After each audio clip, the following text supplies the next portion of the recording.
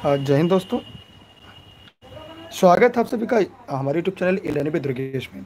आज हम लोग पर्यावरण के तीन महत्वपूर्ण जो शिक्षा शास्त्र है, खासकर क्योंकि शिक्षा शास्त्र एक ऐसा महत्वपूर्ण टॉपिक होता है, अगर आपने सीटेट की परीक्षा के लिए तैयारी नहीं की है तो पढ़ना कहीं ना कहीं हमारे लिए प्रश्नवाचक चिन्ह जैसा होता है। तो चलिए, बिना देरी के आज की हम लोग जो क्लास है, उसकी शुरुआत करते हैं, जिसमें हम लोग तीन महत्वपूर्ण शिक्षण को पढ़ेंगे, जिसमें पहला है आपका पर्यावरण शिक्षण।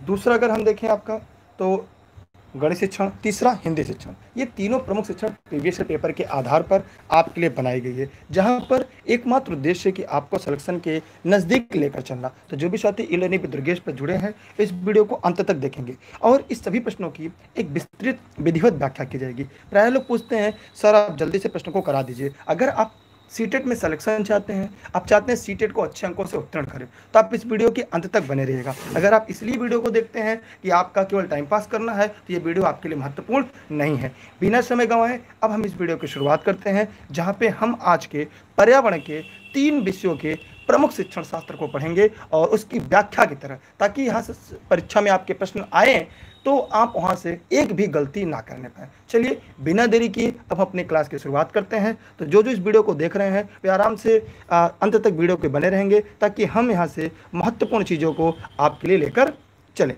चलिए, पहला प्रश्न आपके डिस्प्ले पर दिख रहा होगा, जो ई का है, और शायद आप देख पा रहे होंगे, निम्नलिखित में से कौन से शब्द समूह आपस में निकटती रूप से संबंधित है? माने कौन सा ऐसा शब्द समूह है, जो आपस में निकटती रूप से संबंधित है। तो जो साथी लाइव देख रहे हैं, सभी लोग फटाफट जवाब दें। देखिए, कुछ लोग अलग अलग तरह के लोग जवाब दे रहे हैं। चलिए, मैं यहाँ पे आपको बताऊँ। मच्छर, डेंगू, लौह और गुड़। देखिए, जो लौह और जो गुड़ होता है, ये आयरन की कमी के लिए दिया जाता है। तो यहाँ पर एक बात तो स्पष्ट है कि यहाँ पर शब्द जो समूह है, इसका संबंध नहीं है।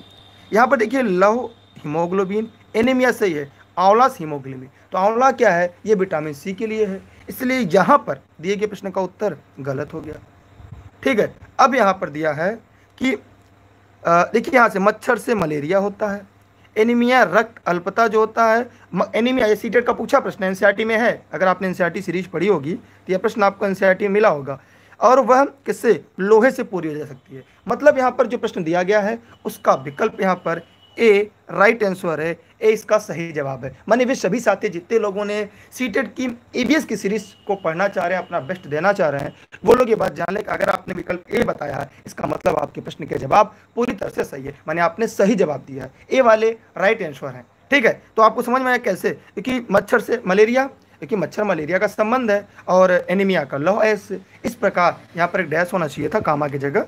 ठीक है, और यहाँ पे कामा होना चाहिए था। मैं आगे बढ़ रहा हूँ। अगले प्रश्न की तरफ़। तो जो साथी जुड़े हुए हैं, वो कमेंट करके अपने जवाब ज़रूर देंगे। अगला प्रश्न शायद आपको दिख रहा होगा कि जब एक मछली को, ध्यान से देखिएगा, प्रश्न आपके सामने है। जब एक मछली को पहले से, जब एक मछली को पहले से उबले, लेकिन कमरे के तापमान पर ठंडे की के पानी से भरे एक्वेरियम में डाला जाता है तो वो मर जाती है। ऐसा इसलिए होता है क्योंकि मछली घर में एक का जो पानी होता है वह कैसा होता है? तो जो लोग इस वीडियो को लाइव देख रहे हैं, सभी लोग फटाफट कमेंट करें। अगर आपने अभी तक वीडियो को लाइक नहीं किया तो लाइक करने के बाद सबसे पहले इस वीडियो को शेयर ज़रूर कर दीजिएगा, ताकि यह वीडियो सभी लोगों के पास पहुँच सके। सभी लोग फटाफट वीडियो को शेयर करें। अभी तक आप लोगों ने लाइक नहीं किया है तो पहला काम वीडियो को लाइक करिएगा। दूसरा काम आप इस वीडियो को शेयर ज़रूर करिएगा। ठीक है? चलिए फटाफट आप लोग कमेंट करिए। कमेंट करके बताइए। देखिए, जो लोग लाए, देखिए, अगर पहले मछली को पहले उबले हुए पानी में, फिर लेकिन कमरे के तापमान पर ठंडे के पानी से भर एक्वेरियम में डालेंगे तो क्या क्या होगा? मछली तैरने की योग्य नहीं होगी। देखिए, ये तो गलत हो गया। मतलब ए वाले गलत हैं। अब हम आते हैं बी की तरफ़। ऑक्सीजन रहित। देखिए, जब पानी को उबाल दिया जाता है, फिर भी पानी में ऑक्सीजन की मात्रा रहती है। इसलिए यहाँ पर यह कहना गलत है कि मछली ऑक्सीजन की वजह से मर जाएगी। ये भी गलत हो गया। फिर मछली द्वारा पीने योग्य नहीं। देखिए, मछली पानी पीती नहीं, वो बल्कि गलफड़े से लेकर वो बाहर निकालती है गलफड़े से क्या होता है और ऑक्सीजन को खींच लिया जाता है। तो यहाँ पर क्या होगा, ये भी गलत। यहाँ पर जो बचा हुआ उत्तर होगा, वह आपका चौथा अर्थात डी वाले सही है। डी कैसे सही है? देखिए, उबालने से पानी का जो खनिज होता है, वह नष्ट हो जाता है। और जब खनिज नष्ट होता है, उसके कारण मछलियाँ मर जाती हैं, यह एन में है। अगर आपने हमारी नोट्स पढ़ी होगी तो आपको ये पता होगा, और ये प्रीवियस ईयर का पूछा प्रश्न है। मानिए, मेरे नोट्स में आपको ये प्रश्न पूरी तरह से मिला होगा। अगर आपने पेड क्लास में मेरी नोट्स, क्योंकि पेड क्लास में आपको नोट्स मिला होगा, या आपने घर बैठ के नोट्स मंगाया होगा तो आपको ये प्रश्न आपको मिला होगा। ठीक है, एक बात याद रखिएगा कि अभी तक आपने वीडियो को शेयर नहीं किया तो पहला काम आप शेयर करके आएँ और लाइक करके आए। ठीक, इतनी मेहनत आप कर दीजिए क्योंकि आप शिक्षक बनने जा रहे हैं, शिक्षक कितनी मदद करिएगा, ठीक, ताकि हम और मेहनत से आपको पढ़ाएँ और अच्छे प्रश्नों की सीरीज़ लेकर आएँ और अच्छी तरह से व्याख्या करें। आपको शेयर करने में पैसे नहीं लगेंगे। मैं आगे बढ़ रहा हूँ मैं थोड़ा सा तेज़ी से प्रश्न को कराऊँगा और ये क्लास जौनपुर से चलती जैसा कब दिखाई दे रहा है। ऑनलाइन क्लास और नोट्स के लिए इस नंबर पर व्हाट्सएप करेंगे, सभी जानकारी आपको मिल जाएगी और इस नंबर पर भी, और ये मेरा व्यक्तिगत नंबर है, बहुत ज़रूरत है तो मुझे आप टेक्स्ट मैसेज या व्हाट्सएप कर सकते हैं। मैं आगे बढ़ रहा हूँ, अगले प्रश्न की तरफ़ ई e के अगला प्रश्न शायद आपको दिखाई दे रहा होगा डिस्प्ले पर। देख पा रहे होंगे आप। अगला प्रश्न कह रहा है कि निम्नलिखित में से कौन सा चाँद की सतह की विशेषताओं के बारे में सबसे अच्छा वर्णन करता है? मान इसमें से कौन सा चाँद के बारे में अच्छा वर्णन करता है? अगर आपने एन कक्षा पाँच पढ़ी होगी एन क्लास फिफ्थ की पढ़ी होगी, या आपने हमारा नोट्स पढ़ा होगा, उसमें एक चैप्टर था सुनीता विलियम्स का। शायद आपको याद होगा क्योंकि इसलिए मैं बार बार कहता हूँ एन एक बार पढ़ लीजिएगा। अगर आपने एन की ईवीएस पढ़ी होगी आसपास तो उसमें सुनीता विलियम्स का एक चैप्टर, एक अध्याय था। उस अध्याय में इसके बारे में दिया गया था। सभी लोग फटाफट बताएँ, इसमें क्या इसका उत्तर होगा? सभी लोग फटाफट कमेंट करें, गलत या सही जवाब आप लोग ज़रूर दीजिएगा। सभी लोग फटाफट कमेंट करके जवाब देंगे, दिए गए प्रश्न का। बताइए क्या होगा? चलिए, मुझे नहीं लग रहा है कि आप लोग वीडियो को लाइक करेंगे। आप लोग जितने लोग वीडियो को लाइक और शेयर किए भगवान करो सीटेड ही ना क्वालिफाई करे, बल्कि वो जल्दी से सहायक अध्यापक बने, क्योंकि वो लगातार मेहनत करते हैं और हमारी बात को रखते हैं। चलिए एक एक करके हम यहाँ पे हल करते हैं। ये क्लासेज प्रतिदिन सात बजे होती है। पीएम पे। देखिए, हवा नहीं, गुरुत्व तो नहीं, समतल नहीं। देखिए, हवा तो नहीं है, समतल भी नहीं है। देखिए, चाँद पर दाग होता है। कुछ लोग कहते हैं चाँद पर दाग, लेकिन चाँद पर दाग नहीं होता।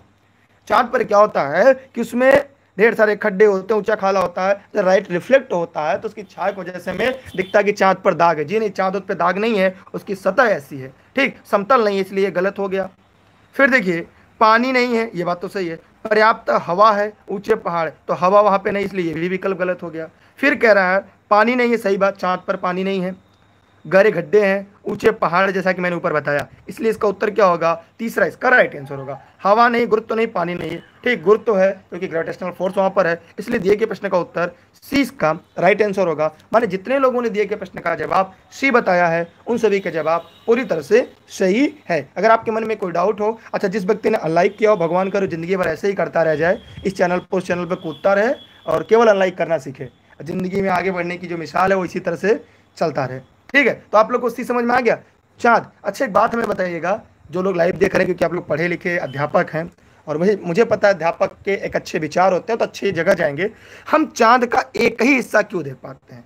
कमेंट करके ज़रूर बताइएगा कि हम चाँद का एक ही हिस्सा क्यों देख पाते हैं। सभी लोग फटाफट कमेंट करिएगा कमेंट करके ज़रूर जवाब दीजिएगा। मैं आगे बढ़ रहा हूँ अगले प्रश्न की तरफ़। अगर आप सिलेक्शन के लिए पढ़ रहे हैं तो वीडियो को अंत तक बने रहिएगा और आराम से पढ़िएगा। अगर कोई लाइक कर देते उसके लिए, आपके लिए नहीं है, आप लोग परेशान ना हो। और जैसा करेगा, वैसा भरेगा, आप तो जानते हैं, ये लॉ ऑफ़ नेचर प्रकृति का। तो आरती एक पोस्टर पर एक बीमारी की रोकथाम से संबंधित कुछ सावधानी लिखती है। आरती कोई शिक्षार्थी है, वह पोस्टर पर एक बीमारी की रोकथाम संबंधित कुछ सावधानियाँ पड़ती है। जैसे उसमें क्या क्या पड़ती है? अपने आसपास पानी को जमा न होने दे। पानी के बर्तनों, कूलरों और टंकियों को साफ़ रखें। यदि कुछ जगहों पर पानी इकट्ठा हो जाए तो तेल का छिड़काव करें, स्वयं बचाव के लिए जाली का प्रयोग करें। इस पोस्टर का उद्देश्य क्या है? यह भी आपके एन में है और हमारे नोट्स में भी ये था और अगर आपने पेड क्लास में भी पढ़ा होगा, उन दोनों जगह लेक्चर में आपको मिला होगा। तो जरा फटाफट कमेंट करिएगा कमेंट करके जवाब दीजिएगा। ठीक। सभी लोग फटाफट कमेंट करें। जरा फटाफट बताइए क्या मतलब अब बताइए, अपने आसपास पानी न जमा होते ऐसा हमको बचपन से बताया जाता है। क्यों ऐसा किया जाता है बताइए? सभी लोग फटाफट कमेंट करेंगे और कमेंट करने के बाद प्रश्न का जवाब ज़रूर देंगे। देखिए टाइफाइड और हैडा देखिए हैजा जो होता है यहाँ पे नहीं होगा। डेंगू, आई आई फ्लू, ये भी नहीं होगा। चेचक जो देखिए, जिसको आप बड़ी माता, छोटी माता के नाम से गाँव में जानते हैं यह भी नहीं होगा। डेंगू और जापानी मस्तिष्क ज्वर, जी हाँ यह आपका सही है। आइए इसके बारे में बताते हैं। देखिए, यहाँ पर मस, डेंगू और जापानी बुखार फैलने के लिए जागरूकता फैलाई जा रही है, क्योंकि ये मच्छरों से होता है और मच्छरों से अगर बचाव के ही उपाय पोस्टर में दिए गए डेंगू व जापानी मस्तिष्क ज्वर जो होता है, मच्छरों से फैलने वाली एक बीमारी है। डेंगू जापानी मस्तिष्क ज्वर से बचाव के लिए पानी को जमा ना होने दें, क्योंकि पानी जमा होगा बर्तन में, कूलरों में, टंकियों में तो वहाँ पर क्या होगा? पानी इकट्ठा होगा तो मच्छर अंडे देंगे और अंडे ज़्यादा देंगे, ज़्यादा पलेंगे। और उसमें क्या होता है? तेल का छिड़काव कर देंगे तो अंडे मर जाएँगे। तो फिर जाली का प्रयोग करिए। इन सब के प्रयोग करने से हम अपनी सावधानियाँ कर सकते हैं। इसलिए मैं बार बार कहता हूँ, अगर आपने एन की सीरीज़ मेरे टेलीग्राम पे वहाँ से ले सकते हैं डिस्क्रिप्शन में होगा। इसलिए इसका उत्तर क्या होगा? सी ऐसे प्रश्न में प्राय लोग गलतियाँ करते हैं तो भैया गलती मत करिएगा। यहाँ पे आप कमेंट सेक्शन में गलती करिएगा, लेकिन परीक्षा हाल में गलती मत करिएगा। एक एक पॉइंट एक एक नंबर की वैल्यू होती है। ठीक है? मैं आगे बढ़ रहा हूँ। बिना समय गंवाए हमें आगे बढ़ना चाहिए और आगे प्रश्नों की तरफ़ हल करने हुए। ठीक है? चलते हैं। अगला प्रश्न आपको शायद दिखाई दे रहा होगा। भारत में समृद्ध वनस्पतियाँ, वनस्पति जात और प्राणी जात, फ्लोरा और फना के बारे में पढ़ाने के बाद विद्यालय द्वारा प्राथमिक कक्षाओं में विद्यार्थियों को रणथम्बौर राष्ट्रीय उद्यान ले जाया जाता है। यह विद्यार्थियों की सहायता करता है। यह भी एनसीईआरटी में है। मैं आपको पहले बताया हूँ, अगर आपने ये नोट्स पढ़ी होगी मेरी। ई लर्निंग दुर्गेश की चाहे आप ऑनलाइन मंगा कर चाहे घर बैठ के तो यह भी आपको मिला होगा। थोड़ी सी लाइन उसमें नहीं मिला होगा। यह लाइन पूरा मिल गया होगा और यह लाइन आपको हुबहू मिला होगा। रणथम्बोर राष्ट्रीय उद्यान। यह पूरा हुबहू लाइन एन में दिया गया है। आपने अगर हमारी क्लास पढ़ी होगी। और और ऑनलाइन क्लास के लिए आप लोग six three zero, six three double four, three six seven पर घर बैठ के यहाँ से नोट्स प्राप्त कर सकते हैं। व्हाट्सएप करके online class, video lecture, practice set भी आपको उपलब्ध होगा। एक से दो दिन के बाद कल से आपको प्रैक्टिस सेट भी मिलना शुरू हो जाएगा। ठीक है? जी, आप वहाँ से प्राप्त कर सकते हैं। यहाँ पे देखिए प्रकृति के प्रति सम्मान विकसित करना। अब बताइए आपका क्या जवाब है? जो लोग लाइव देख रहे हैं जरा फटाफट कमेंट करें।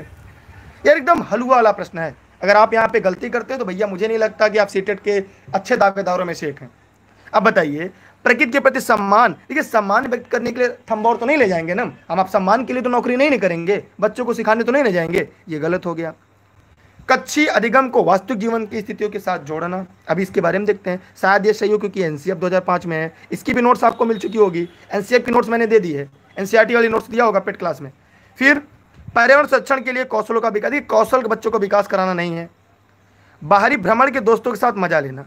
अब यहाँ पर आपको मुझे दो लगता है। सी और बी में क्या होगा? तो ये बात सही है कि कच्ची अधिगम को वास्तविक जीवन से जोड़ने के लिए हम उन्हें भ्रमण विधि का प्रयोग करते हैं। इसलिए दिए गए प्रश्न का उत्तर दो होगा। किस आधार पर होगा? कहेंगे, सर, ये प्रश्न का उत्तर हम कैसे दो माने? क्योंकि मेरे जो एनसीएफ 2005 की नोट्स है एन 2005 की जो नोट्स है, उस नोट्स में इस लाइन का ज़िक्र किया गया है।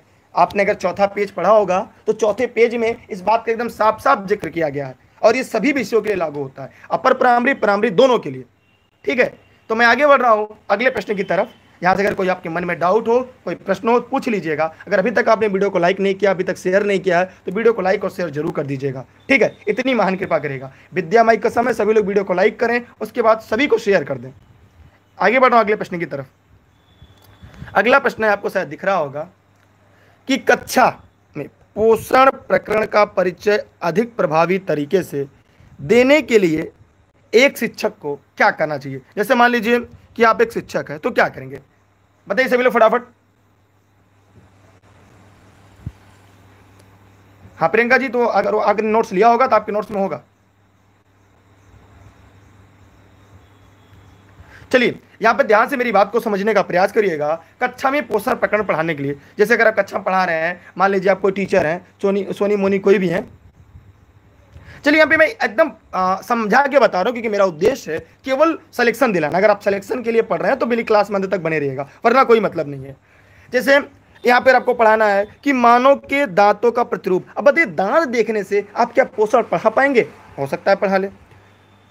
विद्यार्थियों को अपने टिफ़िन बॉक्स खोलने और उनकी सामग्री को देखने के लिए कहना, चाहे बाद में शिक्षक को व्याख्या करनी चाहिए। फिर, पोषण तत्वों से भरपूर विभिन्न भोजन के उदाहरण देने चाहिए। श्यामपट पर पाचन चित्र का आरेख बनाना चाहिए। अगर आपने मेरी क्लास, पेड क्लास में पढ़ा होगा तो मैंने वहाँ पर एनसीईआरटी की व्याख्या करते हुए पढ़ाया था, और यह भी एनसीईआरटी में। कहेंगे, सर, आप तो एनसीईआरटी से बाहर ही नहीं जाते। जी हाँ ये भी एनसीईआरटी में है, और आपने अगर नोट्स लिया होगा या पेड क्लास में तो आपको उन्हें पढ़ा होगा। यहाँ पे आप लोग गलती नहीं कर सकते। अब देखिए, यहाँ पे क्या होगा कि आपको ये, अगर केबीएस का कोई इंटरव्यू दिया होगा तो भी वो जानता होगा। केबीएस के इंटरव्यू में प्राय प्रश्न पूछा जाता है वहाँ पे बताऊँ कैसे प्रश्न यहाँ पे घुमा के पूछा जाता है थोड़ा सा। अगर आपको पोषण पढ़ाना है तो बच्चों को डायरेक्ट पोषण नहीं पढ़ाएँगे। ये क्या कहता है? ये आगमन शिक्षण विधि आपने पढ़ा है? आगमन शिक्षण विधि, यहाँ पे शिक्षण विधि का प्रयोग करना है। किसका? आगमन शिक्षण विधि का प्रयोग करना है। और आगमन शिक्षण विधि क्या कहता है कि बच्चों को क्या करना है? रटाना नहीं है। ठीक है? बच्चों क्या करना है? रटाना नहीं है। अब यहाँ पे क्या करना है? आइए ध्यान से देखते हैं। अब यहाँ पर पहले बच्चों को टिफ़िन खोलने के लिए कहेंगे, उनके सामग्री देखने के लिए कहेंगे और फिर उसकी व्याख्या करेंगे। जैसे, मान ली क्लास में मेरे बहुत सारे लोग हैं। जैसे हमारी कक्षा में हैं, राम है, श्याम है, सोनी है मोनी है, मान लीजिए क्लास में सब बच्चे हैं। अब बच्चे हैं, इन लोगों से क्या करें टिफ़िन लेकर आए तो हो सकता है, राम क्या लाया हो? ये रोटी सब्ज़ी लाया हो, ये पराठा लाया हो, ये ब्रेड लाए हो, और ये चॉकलेट लाए हो। तो ये सारे बच्चे जो अपने टिफ़िन खोलेंगे, अब हम बताएँगे अच्छा बेटा, कौन क्या लाया है? तो इससे क्या होगा? हम बच्चों से उनके जब टिफ़िन बॉक्स खोलने के लिए कहेंगे, सबसे पहले बच्चों के अंदर क्या होगा? एक मेल मिलाप की भावना होगा, माने एकता का परिचालक होगा। दूसरी बात, अब एक अध्यापक जब बच्चों से बोले तो मित्रवत व्यवहार करेगा, और एक अध्यापक और बच्चों के बीच मान लीजिए अनूप भी थे तो यहाँ पे अनूप भी थे तो ये लोग भी थे, इन लोगों के टिफ़िन को खुलवाया गया। अब बच्चों से जब हम लोग क्योंकि एक प्रश्न और कहता है कि एनसीएफ 2005 कि बच्चों की अभिव्यक्ति की स्वतंत्रता होनी चाहिए, क्या होनी चाहिए अभिव्यक्ति? जब बच्चों से फ्रेंडली होंगे तो उनकी अभिव्यक्ति की जो स्वतंत्रता है, वो बाहर आएगी, ठीक है? जब अभिव्यक्ति की स्वतंत्रता बाहर आएगी तो बच्चे आपके पास जुड़ पाएँगे, और जुड़ने के बाद ठीक है तो हम क्या करेंगे? तब उनको एग्ज़ाम्पल देंगे, फिर उसके बाद हम धीरे धीरे उनकी व्याख्या की तरफ़ चलेंगे। इस प्रकार हम पोषण शब्द को बता देंगे कि जैसे फ़ैन कैसे चलता है, बच्चे कहेंगे, सर लाइट से। बल्ब कैसे चलता है, बच्चे कहेंगे लाइट से। अच्छे बताओ पेन कैसे चलती कहेंगे, सर, स्याही से। तो फिर जैसे इन सबको चलने के लिए कुछ ना कुछ चाहिए, गाड़ी कैसे चलती है, पेट्रोल से, तेल से, वैसे हमको चलने के लिए भोजन ज़रूरत पड़ती है, और भोजन से हमें क्या मिलता है? पोषण मिलता है। इस बात को समझाने के लिए इन तथ्यों को हमें पढ़ाते हुए आगे बढ़ना पड़ेगा। मैं आगे बढ़ रहा हूँ। अगले प्रश्न की तरफ़ जरा कमेंट करके बताइए कि मेरी आवाज़ साफ़ समझ में आ रही है, मेरी बातें आप तक पहुँच पा रही हैं, कोई दिक्कत, कोई समस्या नहीं है। क्या आप इस वीडियो को शेयर करना चाहेंगे? क्या आप इस वीडियो को लाइक करना चाहेंगे? मैं आगे बढ़ रहा हूँ। अगले प्रश्न की तरफ़। अगला प्रश्न आपके बीच है। बहुत ही मज़ेदार प्रश्न। देखिए, मैं ऐसे प्रश्नों को मज़ेदार क्यों कहता हूँ? ये प्रश्न थोड़ा सा बड़ा है तो चलिए। यहाँ पर सॉरी हाँ चलिए, यहाँ पे आप प्रश्न को ध्यान से पढ़ लीजिए। ध्यान से एकदम पढ़िएगा कि मैं प्रश्न को सॉर्ट आउट करने जा रहा हूँ। यहाँ पे प्रश्न दिया गया है, शामिल करना इंगेक खोजबीन करना एक्सप्लोर व्याख्या करना एक्सप्लेन विस्तार देना एलोबरेट और मूल्यांकन करना इवलेट ये विज्ञान और प्रभावी शिक्षण से जुड़े पाँच महत्वपूर्ण ईएस हैं। अंकुरण के लिए आवश्यक परिस्थितियाँ। अंकुरण क्या है? ये भी एनसीआरटी में है। ये अगर आपने नोट्स को अच्छे से मेरा पढ़ा होगा और अगर वहाँ पे आपको मिल जाएगा। तो आपने यहाँ पे देखा होगा कि अभी आपको कहें सर सारे प्रश्न आपके नोट्स में जी हाँ आप जब पेपर देकर बाहर आते हैं, कोई प्रश्न ऐसा नहीं होता जो ईवीएस का मेरे नोट्स से ना आया हो। ठीक है? बेशक ये नाम छोटा है, व्यक्ति छोटा हो सकता है, लोग को अभी भरोसा ना हो। चलिए, यहाँ पर अंकुरण के लिए आवश्यक स्थितियों की संकल्पना से जुड़े व्यावहारिक अनुभव को बच्चों के बीच उपलब्ध कराते समय एक विज्ञान शिक्षिका निम्नलिखित गतिविधियाँ करने के लिए कहती हैं। तो पाँच मिनट है सॉरी पाँच मिनट कह रहे हैं तो ध्यान से इसको पढ़ लीजिए, मैं आगे पढ़ाने जा रहा हूँ।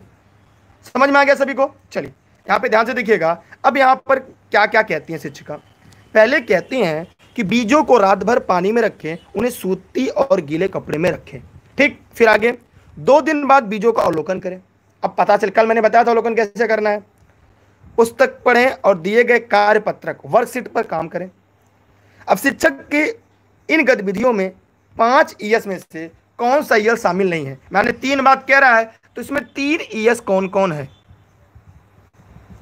और कौन कौन नहीं है? सभी लोग फटाफट कमेंट करेंगे और कमेंट करके जवाब देंगे। जो लोग इस वीडियो को लाइव देख रहे हैं, वे सभी लोग फटाफट कमेंट करके जवाब देंगे। क्योंकि मेरा उद्देश्य आपका सिलेक्शन दिलाना है और मैं ये चाहूँगा आप सिलेक्शन के लिए पढ़ें। देखिए, अंकुरण के लिए जो आवश्यक परिस्थितियाँ हैं, इस संकल्पना को व्यवहारिक अनुभव से बच्चों को उपलब्ध कराते समय, अगर आप विज्ञान के शिक्षिका हैं चाहे आप जो भी हो, चाहे यहाँ पे जो भी लाइव देख रहा हो।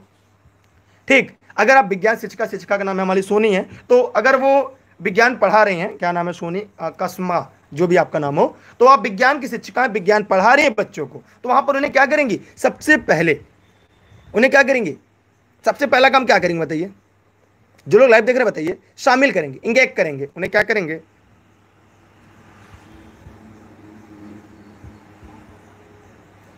उन्हें शामिल करेंगे बच्चे जब तक शामिल नहीं होंगे, तब तक आपकी कक्षा पूर्ण से ही नहीं, चालू ही नहीं होगी। माने बच्चों को इकट्ठा करें चलिए चलिए बच्चों, चलते हैं हम लोग। मैदान में चलते हैं, फ़ील्ड में चलते हैं। माने बच्चों क्या करेंगे? पहले हम जोड़ने का काम करेंगे। क्या करेंगे? बच्चों को शामिल करने का काम करेंगे। बच्चे के साथ जुड़ जाएँगे। फिर जुड़ने के बाद, फिर हम क्या करेंगे? उनको कहेंगे एक्सप्लोर करिए। उसके बाद क्या करेंगे हम? एक्सप्लोर करेंगे।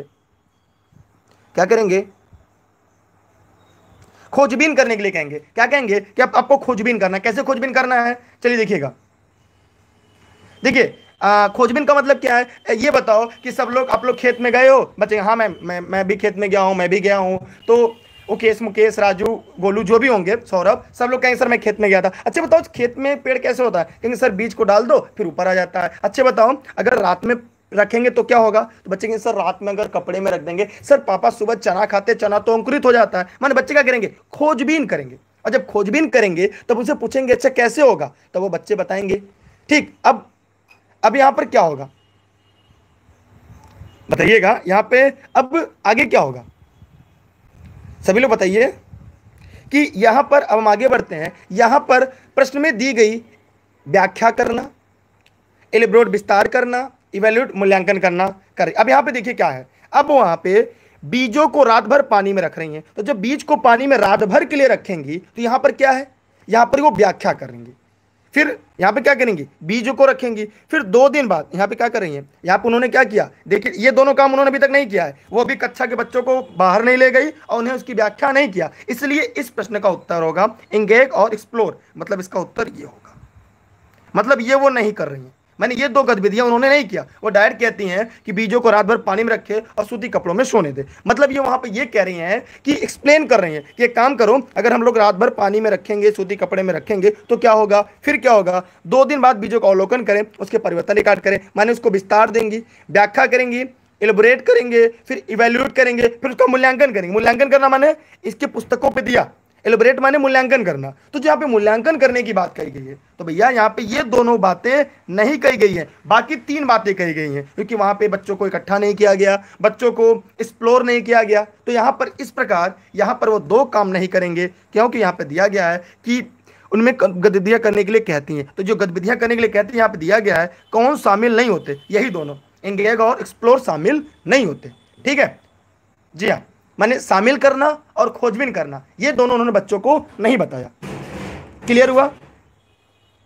यहाँ तक जितने लोग वीडियो को लाइक देख रहे हैं, फटाफट कमेंट करके बताएँ कि आपको समझ में आ गया। अगर आपको समझ में आ गया है तो पहला काम वीडियो को शेयर कर दे। और नहीं आया है तो कोई मतलब नहीं। ठीक है? इतनी मेहनत से पढ़ाने का कोई मतलब नहीं है। अगर आपको लग रहा है कि मैं बेहतर व्याख्या कर रहा हूँ तो भैया वीडियो को शेयर करिए, वरना मैं लंबी क्लास नहीं ले पाऊँगा। मैं आगे बढ़ रहा हूँ अगले प्रश्न की तरफ़। इतनी मेहनत से पढ़ाओ, लेकिन आप लोग जो है, जरा सपोर्ट नहीं करते। चलिए, एक कक्षा के अनुभाग अ को पेट्रोलियम और कोयले के, ये देखिए कक्षा पाँच के एनसीईआरटी पार्ट लास्ट वाला लेसन है। कोयलों के भंडारों में रिक्तिकरण, प्रकरण पढ़ाने के लिए मल्टीमीडिया कैप्सूल का प्रयोग किया गया। जबकि अनुभाग ब को, अनुभाग ब को ग्रीन बोर्ड पर आरेख बनाते हुए पढ़ाया गया। बाद में पाया गया कि अनुभाग अ के विद्यार्थियों ने एक बेहतर सीमा तक प्रकरण को समझ लिया। ऐसा होने का कारण क्या हो सकता है? मैं एग्ज़ाम्पल दूँगा जैसे आप लोग बहुत सारे कोचिंगों के लोग से पढ़ते हैं। तो लोग दो तरह से पढ़ाते हैं। जैसे मान लिया, एक अनुभाग ए हो गया, एक अनुभाग बी हो गया। एक बी वाले क्या करते हैं? आते हैं, कहते हैं, इसका उत्तर ये ये सही है। लेकिन ए वाला क्या करता है? पूरी तरह से व्याख्या करके बताता है। ठीक है, पूरी तरह समझा के बताता है, प्रश्न को ऐसे लगाना है। तो ए भाग वाले सभी पास हो जाते हैं और बी भाग वाले कुछ लोग पास होते हैं। तो बताइए क्यों ऐसा होता है? ठीक, सभी लोग फटाफट कमेंट करें। यार, आप लोग इतनी सपोर्ट नहीं कर सकते, वीडियो को लाइक नहीं कर सकते, वीडियो को शेयर नहीं कर सकते। यार, इंसान आपके लिए चिल्ला के कितना भी मैंने से पढ़ा ले, आप लोग के गले नहीं उतरने वाला है। क्योंकि आपको क्या बताए, छोड़िए। यहाँ पे बताइए क्या होगा? देखिए, ये कक्षा पाँच की एनसीआरटी का आखिरी लेसन है। अगर आपने एनसीआरटी पढ़ी होगी या मेरे नोट्स का आखिरी लेसन पढ़ा होगा तो यहाँ पे आपको मिला होगा। आइए देखते हैं कैसे। ग्रीन बोर्ड एक अच्छी दृश्य सामग्री नहीं है। यार, ये बताओ, अब कोई ये कहे कि मैंने सही से केवल प्रश्न की व्याख्या नहीं की तो कोई लड़का फेल हो गया, ये तो हुआ नहीं, ये तो गलत बात है। जैसे मेरी बात ले लो। मान लो यहाँ पे यूट्यूब यहाँ पे ई लर्निंग विद दुर्गेश है। या ई लर्निंग दुर्गेश यहाँ पे अदर है। तो मैं प्रश्नों की व्याख्या करके बताता हूँ, मैं समझा के बताता हूँ, और आप परीक्षा में जितने लोग सीटेड पढ़े हैं, आज तक का रिकॉर्ड है मेरे यहाँ सभी पास हुए हैं, कोई फेल नहीं हुआ है। दूसरी तरफ़ लोग क्या करते हैं, अदर वाले केवल प्रश्न का उत्तर बता के आगे बढ़ते हैं। तो भैया सिलेक्शन कहाँ से देंगे? तो यहाँ पर क्या होगा, बहुत उपागम, दैनिक जीवन में स्थितियों के नज़दीक है। अब ये बताइए, अगर हम बहुत सारे उपागम बताएँगे, आपको चीज़ें बताएँगे तो आप क्या, पास कर जाएँगे? जी नहीं।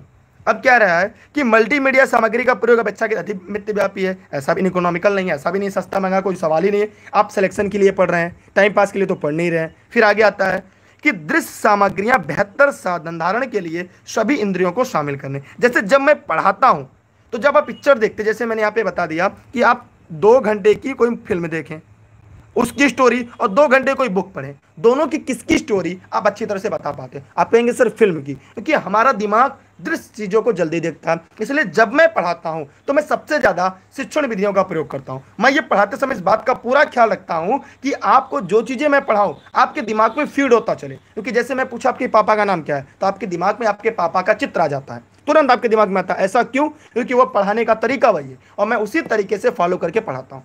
शायद आपको यकीन नहीं होगा, मेरे यहाँ सीटेड कोई फेल नहीं होता। जो लापरवाही करेगा नोट्स नहीं पढ़ेगा, हमारी बात को नहीं मानेगा, वही फेल होते हैं, बाकी कोई भी फेल नहीं होता। इसलिए मैं बार बार कहता हूँ कि थोड़ी चीज़ें किसी भी बात को लेकर, पढ़ाई को लेकर घमंड ना करना चाहिए। चीज़ों को समझना चाहिए, अपना बेस्ट देना चाहिए। इसलिए इसका उत्तर क्या होगा? चौथा डी इसका राइट आंसर होगा। मैं आगे बढ़ रहा हूँ अगले प्रश्न की तरफ़। अगला प्रश्न शायद आपको दिखाई दे रहा होगा। एक कक्षा में औसत से कम चार विद्यार्थी हैं। उन्हें अन्य विद्यार्थियों के सामान लाने के लिए सबसे प्रभावी व्यूरचना क्या होगी? यहाँ पे चार विद्यार्थी हैं ठीक है? चार विद्यार्थी कोई है जिसे जिनके आ, आ, नाम आ रहे हैं। जैसे यहाँ पे मान लीजिए अमित है गोलू है भोलू है शिवानी है। ये चार लोग हैं यहाँ पे ठीक है? यहाँ पे चार लोग हैं यहाँ पे। अब इन चार लोगों में ये थोड़ा सा कम बुद्धि के हैं मेरी तरह मंद बुद्धि के लोग हैं। अब इसे कौन सा ऐसा प्रभावी है कि ताकि ये सभी लोग आप लोग की तरह बन जाए? ऐसा क्या करेंगे आप? जरा फटाफट कमेंट करिए, ऐसा इसमें से क्या करेंगे? ये चारों आपकी तरह हो जाए। इन्हें हम अगली पंक्ति में बैठाएँ, उन्हें काम का परीक्षण करना। अगर हम इन्हें अगली पंक्ति में बैठा देंगे, क्या आगे बैठने से तेज हो जाएँगे? अगर ऐसा होता तो यार मैं भी तेज हो गया होता। मैं तो बैक बेंचर इंसान हूँ। ठीक है, हम तो पीछे बैठते थे हमेशा। ठीक, आज ही मंद बुद्धि रह गए। माने ये गलत है यहाँ पे। फिर कह रहा है उनके अधिगम के कमज़ोर क्षेत्रों को पहचान करना, उनके अनुसार सुधारात्मक उपाय उपलब्ध कराना, ये भी हो सकता है। फिर मैं आगे देखता हूँ। यह सुनिश्चित करना कि वे नियमित रूप से विद्यालय आए। अरे भैया, हम तो कभी क्लास नहीं छोड़ते थे। मेरा रिकॉर्ड है, मैं कभी भी लाइफ में अपनी क्लास मिस नहीं करता था। कितना बारिश हो, कितनी भी ठंड पड़े, मैं अपने काम से कभी समझौता नहीं करता। मैं अपने टाइम्स को भी समझौता नहीं करता। यह बात कुछ लोग को बुरा लगता है, क्योंकि टाइम मैनेजमेंट सफलता का सबसे पहला पैमाना होता है। अगर आपको तीन बजे पढ़ना है तो बस पढ़ना है, चाहे कुछ भी हो जाए। बालू पड़े, पत्थर पड़े, यदि यदा कदा अगर आपका छूट जा रहा है तो हम अगले दिन रात को उसको मैनेज करेंगे। मैंने अपने टाइम टेबल पर कोई भी छेड़छाड़ नहीं करेंगे। मतलब ये भी गलत हो गया। फिर कह रहा है उन्हें घर पर करने के लिए दत्त कार्ड दे। अगर होमवर्क करने से हो जाए, भैया हम तो होमवर्क कभी नहीं करते थे। अगर क्या बहुत सारा किसी को लिखने के लिए दे दिया जाए, कि खूब छाप कर आओ, क्या वो सिलेक्शन पा जाएगा? जैसे मैं आपसे कह दूँ कि आप मोटी मोटी किताबें पढ़ लो तो क्या आपका सिलेक्शन होगा? क्यों? क्योंकि आपको छोटी चीज़ चाहिए। आप कहते हैं, सर शॉर्ट नोट्स दीजिए। सर, मुझे आपके नोट्स चाहिए। क्यों? क्योंकि आपको शॉर्ट चीज़ें चाहिए। इसलिए ये भी आपका गलत। अब यहाँ पर ध्यान से दिखेगा अब जैसे यहाँ पर उनको क्या करना चाहिए? इन चारों बच्चों को, इनकी कमियों को पहचाना चाहिए। ठीक है? इन चारों व्यक्ति को अमित, गोलू, भोलू, मोलू, शिवानी सीनी, जो भी है, जितने लोग हैं, अमित, रत्नेश, जो भी हैं, इन सभी के बारे में हमें कमियों को पहचानना चाहिए। उन कमियों के आधार पर हमें सुधारात्मक काम करना चाहिए। इससे क्या होगा? अब देखिए, इसमें क्या होगा? मेरी बात को ध्यान समझिएगा। व्यूह रचना सबसे प्रभावी होगी। परीक्षणों, टेस्ट के माध्यम से ये ज्ञात, कैसे ज्ञात करेंगे? टेस्ट के माध्यम से, परीक्षणों के माध्यम से। कौन सा परीक्षण? परीक्षा वाला नहीं। उनकी कमजोरियाँ क्या है? उनके परिणाम के आधार पर सुधारात्मक उपाय करने चाहिए। ठीक है यह बात आप लोग को ध्यान देना चाहिए। मैं आगे बढ़ रहा हूँ अगले प्रश्न की तरफ़। नहीं, मैं कोटा कम गया हूँ, क्योंकि मैं शुरू से मंदबुद्धि रहा हूँ तो इसीलिए टीचर में बहुत मानते थे। मैं आगे भी रहा हूँ तो यहाँ पर है, एक संतुलित प्रश्न पत्र बनाने के लिए निम्नलिखित चरणों में से कौन सा सही तरीका है? फटाफट सभी लोग कमेंट करके बताएँ। जो लोग इस वीडियो को लाइव देख रहे हैं, वे लोग फटाफट कमेंट करें और कमेंट करके जवाब दें। जो लोग भी इस वीडियो को लाइव देख रहे हैं, सभी लोग फटाफट कमेंट करेंगे और कमेंट करने के बाद जवाब देंगे। बताइए, इतनी मेहनत से पढ़ा रहा हूँ, अगर ऐसा कोई यूट्यूब पर चैनल पढ़ा दे, वीडियो को अनसब्सक्राइब करके चले जाइएगा। मैं इस बात की गारंटी लेता हूँ कि अगर आप डेली क्लास में है सीटेट में बाहर जब निकलेंगे कमरे से परीक्षा देने के बाद, आपको एक ही बात आएगी लेनी भी दुर्गेश यह बात का घमंड नहीं, इस बात का गर्व है। इसलिए मैं मेहनत से पढ़ा रहा हूँ आप लोग मेहनत से पढ़िए वीडियो को जितना ज़्यादा हो सके शेयर करिए। आप सभी के पास कम से कम पाँच से ग्रुप होंगे व्हाट्सएप पे। तो यार ग्रुप में डाल दो, अपने व्हाट्सएप के स्टेटस पे भेज दो फेसबुक का यूज़र हो फेसबुक पे डाल दो। बताइए कैसे करेंगे? सभी लोग बताइए क्या करेंगे? पहले देखिए, यहाँ पे दो विकल्प पहले है। पहले डिज़ाइन तैयार करेंगे कि पहले प्रश्न लिखेंगे। पहले क्या करेंगे? भैया प्रश्न बनाना है, पहले क्या करेंगे? बताइए। पहले आप क्या करेंगे? देखिए, यहाँ पे दो दो दो का अगर कैटेगरी बनाए तो क्या करेंगे? बताइए पहले फटाफट कमेंट करके।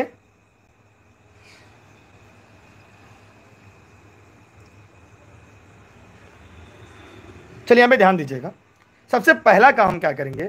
हम प्रश्न पहले नहीं लिखते। पहले हम ये देखते हैं, हम, हमने अभी तक जो पढ़ाया था क्या क्या टॉपिक पढ़ाया था, बच्चों कैसे चीज़ों को हम समझाने का प्रयास करें ताकि बच्चे आए। तो यहाँ पर सबसे पहला काम क्या करेंगे? हम पहले प्रश्न लिखेंगे। हम पहले डिज़ाइन तैयार करेंगे। हम पहले क्या करेंगे? डिज़ाइन।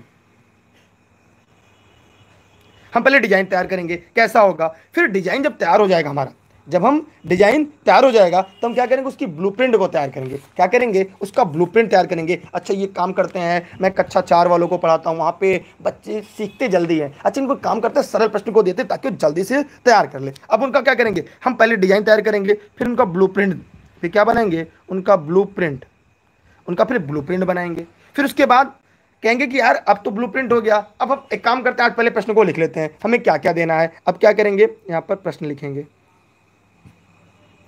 अब यहाँ पे प्रश्न लिख लिया आपने। और जब प्रश्न लिख लिया, अब उसका क्या करेंगे? अब उसको दे देंगे प्रिंट होने के लिए, संपादन करेंगे क्या क्या कमियाँ क्या क्या सुधारेंगे। उसके बाद उसकी अंक योजना बनाएँगे। एक काम करते हैं, पहले के चार प्रश्न एक एक नंबर का करते हैं, फिर दो दो नंबर का करते हैं, फिर ये बड़ा प्रश्न इसको पाँच नंबर कहते हैं। तो ऐसे क्या करते हैं, आप अंक योजना बनाते हैं। तो जो अंक योजना होता है, वो आप हमेशा अंत में बनाते हैं। इसलिए इस प्रश्न का जो सबसे उपयुक्त और सही उत्तर होगा, वह क्या होगा? ए इसका राइट आंसर होगा. ए क्या होगा? इस दिए गए प्रश्न का सही जवाब होगा. मतलब जितने लोगों ने यहाँ पर ए बताया है,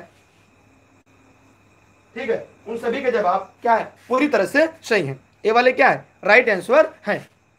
सभी लोग फटाफट कमेंट करके बताएँ.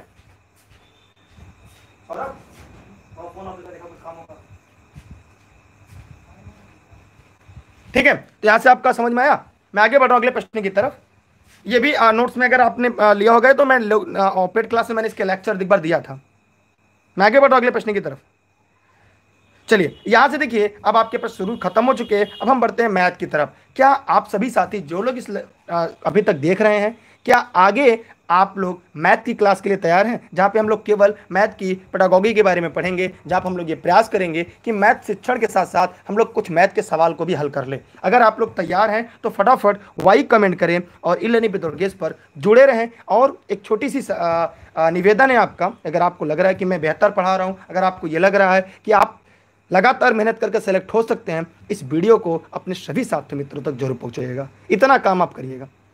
वीडियो को लाइक करने के साथ साथ अपने साथी मित्रों तक ज़रूर पहुंचेगा। एक बात मेरी आपको बताऊँ कि जब भी आप पढ़ा करिए मुझसे नहीं, कहीं भी तो अपनी एक्टिविटी को बरकरार रखेगा गतिविधि आपकी होनी चाहिए। आपकी कक्षा जीवंत होनी चाहिए। आपकी कक्षा से उत्तर आना चाहिए। अगर आप ऐसा नहीं करते, अगर आप अपना अभिव्यक्ति नहीं व्यक्त करते तो आपके पठन पठन पाठन में दोनों में कमियाँ हैं। इसे सुधार करिए, वरना परिणाम थोड़ा सा दुखद हो सकता है। मैं आगे बढ़ रहा हूँ, क्योंकि मैं तब तक पढ़ाऊँगा, मैं अपना बेस्ट दूँगा, क्योंकि मैं स्वयं सिलेक्टेड हूँ तो मैं ये चाहूँगा कि मैं वो चीज़ें बताऊँ जो मैं स्वयं करता हूँ। ठीक है? मैं आगे बढ़ रहा हूँ अगले प्रश्न की तरफ़। अब यहाँ पे देखिए, मैथ, शिक्षण की क्लासेज आपके लिए तैयार हो चुकी हैं और मैं उम्मीद करता हूँ यह क्लासेज जो कक्षाएँ हैं, ये आपके लिए महत्वपूर्ण होंगी। ठीक है? तो चलिए, आपके सामने पहला प्रश्न शायद दिख रहा होगा। बोर्ड पर चलिए फटाफट कमेंट करके बताइए कि त्यौहार के समय, कक्षा पाँच में प्रतिशत प्रकरण के समय सेल पर चर्चा की। आजकल सेल होता है ना, सेल लगता है। ठीक है, सेल पर कक्षाई चर्चा शुरू की गई। कक्षा में इस प्रकार की जो चर्चा है, अब फटाफट कमेंट करिएगा और भैया कमेंट करके जवाब ज़रूर दीजिएगा। जो लोग इस वीडियो को लाइव देख रहे हैं, सभी लोग फटाफट कमेंट करेंगे और कमेंट करके दिए गए प्रश्न का जवाब ज़रूर देंगे। सभी लोग मतलब ऐसा नहीं है कि कुछ लोग जवाब दें, कुछ लोग जवाब ना दें। भैया, अगर आप लोग लाइव पढ़ रहे हैं तो भैया जवाब तो आपको देना पड़ेगा। अगर आप जवाब नहीं देते तो भैया क्लास में आपके पढ़ने का कोई मतलब नहीं है। क्योंकि इतना भी मेहनत से मैं पढ़ाऊँ आपका कोई मतलब नहीं निकलेगा। अगर आप प्रश्न का जवाब नहीं देते हैं तो। चलिए, मैं आगे बढ़ रहा हूँ, यहाँ पे क्लास को मैं समझा दूँ पहले। देखिए, यहाँ पर आपका करेंगे क्या? कि अपने वाद विवाद संबंधित कौशलों को बढ़ाने में विद्यार्थियों को सहायता करेंगे। अब ये बताइए, क्या वाद विवाद को बढ़ाकर हम सेल में परसेंटेज को, तथ्य को समझा सकते हैं? ऐसा कर पाएँगे आप? अगर कर पाएँगे तो अच्छी बात है।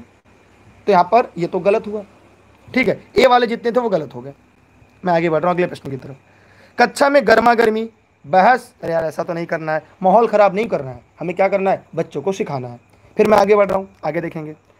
कि एक दूसरे के विचारों को सुनना। जैसे मैं जब अपनी बातें रखता हूँ तो मैं आपकी बातें भी सुनता हूँ। ऐसा नहीं है कि जब मैं बढ़ा रहा हूँ तो मैं आपकी बातें नहीं सुनता। हमें आपके कमेंट पे भी नज़र होता है। क्यों? क्योंकि जब तक आपकी अभिव्यक्ति मुझ तक नहीं पहुंचेगी, मेरी आवाज़ आप तक नहीं पहुंचेगी, एक अच्छा संप्रेषण नहीं होगा। अगर आपने कोई नेट या जारफ की तैयारी कर रहा होगा तो इस बात को भली बात ही जानता होगा कि कक्षा में संप्रेषण होना चाहिए और आप बड़े बच्चे हैं। दूसरी, अपना तर्क प्रस्तुत करने के लिए उन्हें प्रोत्साहित करना। अगर उनका कोई तर्क है तो उनको प्रस्तुत करने के लिए उन्हें हमें क्या करना चाहिए? प्रोत्साहित करना चाहिए। ठीक है? ताकि वो जो बच्चा है, वो अपनी बात रख सके। हमारे यहाँ होता क्या है? जब टीचर सवाल पूछता है तो बच्चा दुबकने लगता है। ऐसा ना हो। बल्कि बच्चा क्या करे? आपकी कक्षा में बोले, सेल पर चर्चा करे, प्रतिशत पर चर्चा करे, वह खुलकर बताए, क्या होना चाहिए, क्या नहीं होना चाहिए। इसलिए इस प्रश्न का उत्तर जो होगा, वो अभी तक तीन आपको मिल चुका है। आगे देखता हूँ। उपेक्षा की जानी चाहिए। यह कक्षा में शोर के स्तर को बढ़ाती है, दूसरों को परेशान करती है। याद रखिएगा, कक्षा में शोर होना चाहिए। जैसे मैं पढ़ा रहा हूँ ना, आपके कमेंट आने चाहिए। अगर आपके कमेंट नहीं आते, आपकी संख्या नहीं बढ़ती, आप शेयर नहीं करते, इसका मतलब मेरे शिक्षण कौशल में कमी है, मुझे पढ़ाने नहीं आता। मैं बेशक कितना भी बेहतर पढ़ाऊँ, जब तक आपकी कक्षा, जीवंत कक्षा नहीं होगी, मेरा पढ़ाना बेकार है। और आप सिलेक्शन के लिए अगर आप पढ़ रहे हैं तो अगर इतनी मेहनत हम कर रहे हैं तो आपको इतना करना चाहिए। इसलिए इस प्रश्न का जो उत्तर होगा, वह क्या होगा? तीसरा या शीश का सही जवाब होगा। क्लियर हो गया? अब आपको धीरे धीरे प्रश्न का उत्तर पकड़ना आ गया। अगर यही प्रक्रम रहेगा तो आप सीटेट की परीक्षा जब भी देंगे, यकीनन आप इलानी दुर्गेश को ज़रूर याद करेंगे। Facebook page Instagram Twitter YouTube हर जगह इलानी दुर्गेश अगर आप कोई भी यूज़र हैं तो आप ज़रूर जुड़िएगा। अगला प्रश्न आपके सामने है। आंकड़ों के विश्लेषण संबंधित, आंकड़ों के विश्लेषण संबंधित गतिविधियों की समझ का आकलन करने के लिए सर्वाधिक उचित रूपात्मक कार्य क्या है? तो जो साथी लनिबित दुर्गेश को देख रहे हैं लाइव क्लास पढ़ रहे हैं, वे कमेंट करके अपना जवाब ज़रूर देंगे। सभी साथी। और इस वीडियो को अपने सभी साथी मित्रों तक शेयर ज़रूर करेंगे। जी अनुप जी, आप लोग तो डेली क्लास में रहते हैं। ये क्लास प्रतिदिन शाम सात बजे से होती है। लाइव चलती है और अगली क्लास सीडीपी की होगी, वो साढ़े आठ बजे से होगी, वो भी इसी चैनल पर लाइव होगी। इन सभी की टेलीग्राम पर मिलेगा, डिस्क्रिप्शन में इसका लिंक होगा। और ऑनलाइन क्लास के लिए यहाँ पर एक नंबर दिया गया है। इस नंबर पर व्हाट्सएप करके ऑनलाइन क्लास नोट्स प्राप्त ऑनलाइन क्लास में आपको पीडीएफ नोट्स मिलेगा। घर बैठ के आप हॉर्ड कॉपी नोट्स भी प्राप्त कर सकते हैं लैनी दुर्गेश की। आइए, यहाँ पर हम इस प्रश्न की चर्चा करते हैं। देखिए, हम आंकड़ों का विश्लेषण जब करते हैं तो इसके लिए क्या होगा? सर्वेक्षण पर आधारित परियोजना बनाएँगे। क्या बनाएँगे? सर्वेक्षण पर आधारित परियोजना बनाएँगे। क्योंकि अब हम यहाँ पर भूमि का निर्वाह प्रयोग नहीं कर सकते। प्रश्नोत्तरित यहाँ पे गलत हो जाएगा। ठीक है अब यहाँ पर तीन एक दो तीन बचा है। इनमें हम क्या करेंगे कि पहले सर्वेक्षण पर बच्चों को इकट्ठा करें आंकड़े। जैसे कह देंगे आप लोग अपने घर जाइए घर से ये बताइए आपके घर में कितने सदस्य हैं? तो कह जैसे यहाँ पे हो गए आ, राम हो गए श्याम हो गए मोहन हो गए सोहन हो गए सोनू हो गए मोनू हो गए सीमा हो गई रीता हो गई सीता हो गई हाँ मोनी हो गई ये सारे लोग हो गए। ठीक है राजू हो गए गिरजा हो गए शैलेश हो गए आलोक हो, ये सारे लोग हैं। सब अपने घर पे लाए। कोई कह रहा है, सर, मेरे यहाँ पाँच है, कोई कह रहा छः है, कोई कह रहा सात है, कोई कह रहा आठ है। तो इस तरह से क्या किया? हमने सर्वेक्षण किया कि सभी लोग अपने अपने घर से लाएँ और देखें किनके घर कितने महिला हैं, कितने पुरुष हैं। फिर हम लोग बता देंगे कि नहीं नहीं नहीं किनके घर महिलाएँ कितने घर पुरुष हैं। इस प्रकार हम क्या करेंगे? इन तथ्य को अच्छे से जान पाएँगे, इन तथ्यों को अच्छे समझ पाएँगे कि उनकी समझ का आकलन करने का ये सबसे सर्वोत्तम है। मना, बिना विश्लेषण की ज्ञात करना संभव नहीं है। ठीक है? तो उसके लिए क्या करना होगा? सर्वेक्षण करना होगा। बच्चे को पता भी नहीं चलेगा। कब उसने सर्वेक्षण किया? क्या होगा? बच्चों को पता भी नहीं चलेगा। अब जैसे यहाँ पे रोल प्ले करने का, कुछ लोग सर रोल प्ले करना। रोल प्ले करने का मतलब काम को उनको बाहर देने का, उन्हीं को काम करना है। लेकिन यहाँ पर लाने के बाद क्या करेंगे? हम कुल काम को टोटल बच्चों से कराएँगे। इसलिए यहाँ पे सर्वेक्षण होगा, न कि रोल प्ले होगा। इसलिए इस प्रश्न का जो उत्तर होगा, वह बीस का राइट आंसर होगा, दूसरा इसका सही जवाब होगा। तो जितने लोगों ने इस प्रश्न का उत्तर बी बताया है, उन सभी के उत्तर सही है, बाकी के उत्तर गलत है, तथ्य को समझिएगा। ठीक है? क्योंकि यहाँ पर आंकड़े को प्रस्तुत करना है, सभी आंकड़े लाकर कक्षा का एक साथ प्रेषित होगा तो वहाँ पर निर्वाह रोल प्ले नहीं होगा। क्लियर हुआ? क्योंकि आंकड़े को टोटल करना है, इसलिए मैं एक लाइन से लिखा, क्योंकि इनके आंकड़े टोटल करने हैं। और टोटल करने के बाद हमें जान जाएँगे, इस कक्षा के कुल परिवार के सदस्य की संख्या कितनी है। क्लियर हुआ? मैं आगे बढ़ रहा हूँ अगले प्रश्न की तरफ़। आप वीडियो को शेयर कर दीजिए यार, लोगों तो पहुंचाइए। जवाब भी दीजिए। अगला प्रश्न है जीन प्याजे का नाम आपने सुना होगा। एक याद रखिएगा, सीटेट में जीन प्याजे को पढ़ लीजिएगा, ज़रूर से। भाई की इन दोनों को ज़रूर पढ़िएगा। और मैथ में, मैं सी डी के लिए, और गणित के लिए तो भैया, इनको भी भी पढ़ लीजिए, गणित में भी काम करेंगे। देखिए, प्याजे का ये विश्वास था कि सामाजिक अनुदेशन से सीखना होता है। गणित का एक शिक्षक पियाजे के सिद्धांत में विश्वास करते हुए चार विकल्प आपके सामने हैं। तो भैया फटाक से कमेंट करिए कमेंट करके जवाब दीजिए। जो लोग इस वीडियो को लाइव देख रहे हैं, सभी लोग फटाफट कमेंट करें और कमेंट करके जवाब दें। एक छोटा सा एग्ज़ाम्पल है। जैसे मैं आपसे कह दूँ कि क्या आप लोग को गाली देना आता है? तो ये कहाँ से सीखा आपने? क्या आपके अध्यापक ने सिखाया? घर के लोगों ने सिखाया? या आपने कहाँ से सीखा? तो आप कहते हैं कि कहाँ से सीखा आपने? तो समाज से सीखा। कहाँ से? समाज से सीखा। तो ये जीन प्याजे की बात है। ये क्या? अब जीन प्याजे कहते हैं कि सामाजिक अनुदेशक सीखना होता है, गणित का शिक्षक प्याजे सिद्धांत में विश्वास करता है और वो कहता है कि क्या? कि सामूहिक परियोजना और सामूहिक परिचर्चा का प्रयोग करके हम क्या कर सकते हैं? बच्चों को आसानी से सिखा सकते हैं। ठीक है? अब यहाँ पे है, कक्षा में बहुत सारे हस्तपरक चालकों का ये गद, ये एनसीएफ 2005 कहता है। ये क्या कहता है? सी वाला जो विकल्प वो एनसीएफ 2005 का है। और यहाँ पर पूछा है जीन प्याजे के बारे में। अब एनसीएफ 2005 जीन प्याजे दोनों अलग हैं क्योंकि हमें प्रश्न को पढ़ना है। हमें विकल्प पे नहीं जाना है कि हाँ सर हमने आपके नोट्स में तो पढ़ा था वहाँ पे ये लाइन दिया है एक अच्छा में बहुत सारे हस्तपरक चालकों का गतिविधियों का प्रयोग करके। ठीक है? भैया वो एनसीएफ 2005 के आधार पर है। लेकिन प्रश्न की शुरुआत में कहा पियाजे? ठीक? अगर ये पूछेगा कि भैया ताजमहल किस ज़िले में है तब तो हम आगरा बताएँगे ना? उत्तर प्रदेश बताएँगे। ताजमहल किस ज़िले में तब कहेंगे आगरा। ये कहेंगे उत्तर प्रदेश। भैया जब राज्य पूछेगा तब उत्तर प्रदेश बताएँगे। और अगर पूछ दे ता, ताजमहल किस देश में है तो क्या आप उत्तर प्रदेश बताएँगे? तब तो भारत कहेंगे। तो प्रश्न को भाषा समझिए। आप केवल ताजमहल मत जाइए। कि ताजमहल कह दिया तो मतलब भैया बात सफ़ा है। भैया ताजमहल से तीन प्रश्न है। कि ताजमहल किस ज़िले में है तो आप कहेंगे आगरा में है। ताजमहल किस प्रदेश में, तब उत्तर प्रदेश कहेंगे। किस देश में, तब भारत कहेंगे। अगर ये तो नहीं कहेंगे ना कि ताजमहल किस देश में तो आगरा में है। इसलिए प्रश्न में पहले जीन प्याजे की बात कहा है। इसलिए जीन प्याजे के आधार पर इस प्रश्न का उत्तर क्या होगा? चौथा इसका राइट आंसर होगा। शिक्षक सामूहिक परियोजना और सामूहिक परिचर्चा का प्रयोग होता है, वो जीन प्याजे के सामाजिक अनुदेशन के अनुसार होता है। मैं आगे बढ़ रहा हूँ, अगले प्रश्न के अंदर। ठीक है? मैं लंबी क्लास आज नहीं लूँगा क्योंकि आपकी संख्या काफ़ी कम हो जा रही है। आप लोग शेयर नहीं करें, आप लोग सपोर्ट नहीं करें क्लास को। ठीक है? तो मैं केवल मैथ की पेडागॉगी पढ़ा दूँगा, उसके बाद हिंदी की आज नहीं पढ़ाऊँगा। ठीक है? क्योंकि आप लोग की संख्या बहुत ही कम है। एक उमा सम और विषम संख्याओं की संकल्पना को समझ नहीं पाती। उमा कोई लड़की है। ठीक है? ठीक है? उसकी संकल्पना को सुधारने के लिए शिक्षिका ने भिन्न रंग वाले कुछ बीस कंकड़ लिए और उनसे उनको जोड़ बनाने के लिए कहा। साथ ही एक से बीस तक के संख्याओं को छाटने के लिए कहा। जिन कंकड़ों के जोड़े बन जाए, उनके जोड़े नहीं बन पाए वो क्या कहा? उन प्रश्नों को छाटने के लिए कहा। अब आपको बताना है, यहाँ पर क्या दिक्कत होगी। मान लीजिए आप ही कोई अध्यापिका है। ठीक है? सभी लोग फटाफट कमेंट करें कमेंट कर बताएँ। सभी लोग फटाफट कमेंट करें कमेंट करके बताएँ। देखिए यहाँ पे समावेशी शिक्षा है। इस प्रश्न को देखिए एक, एक टॉपिक ये भी पढ़ना है आप लोग को।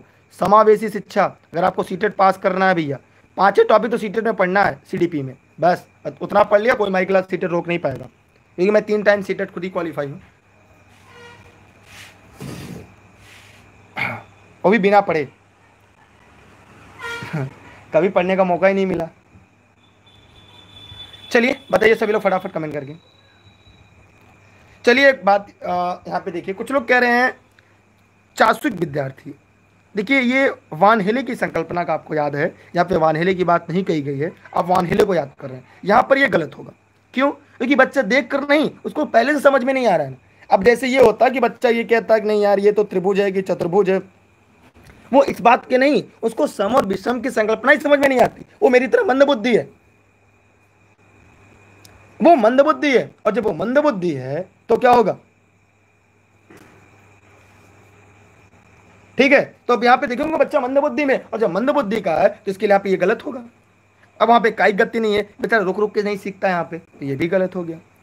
ये सब शिक्षार्थी ये भी नहीं आएगा। अब यार, जब हमको बहुत ज़्यादा दिक्कत होगी, जैसे कोई ये कह दिया कि, सर, हमको संस्कृत नहीं आती मुझे भी नहीं आती। लेकिन मैं एक तरीका बताऊँगा, संस्कृत में आपके तेईस नंबर हो जाएँगे, तीस में। एक तरीका से। इसलिए मैं उनको बैठा के समझा दिया कि संस्कृत को आपको कैसे पढ़ना है, कैसे आपको स्कोर करना है। अगर आपको बात समझ में आ गई तो आपको सीटेड कोई रोक नहीं सकता। चाहे आप झगड़ा करें, लड़ाई करें, कुछ भी करें। लेकिन एक बार अगर आप क्वालिफाई हो जाते हैं तो ये आपके लिए माने रखता है। क्योंकि आपके लिए व्यक्ति से ज़्यादा सलेक्शन माने रखता है। समय के साथ लोग भूल जाते हैं, लेकिन अगर आपके एम आपकी नौकरी आपके साथ है तो लोग क्या करेंगे? आपका सम्मान करेंगे, वरना आपकी कोई वैल्यू समाज में नहीं होगी, जैसा मैंने देखा है।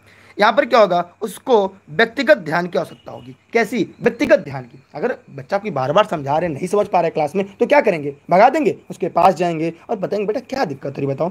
क्यों तुम्हें सम सम विषम नहीं आ रहा? आज ये ये ऐसे होगा, ये ऐसे होगा। उसको नज़दीक जाकर अब उसे क्या करेंगे? समझाने का प्रयास करेंगे। और अगर ऐसा करने में सफल है, इसका मतलब क्या है?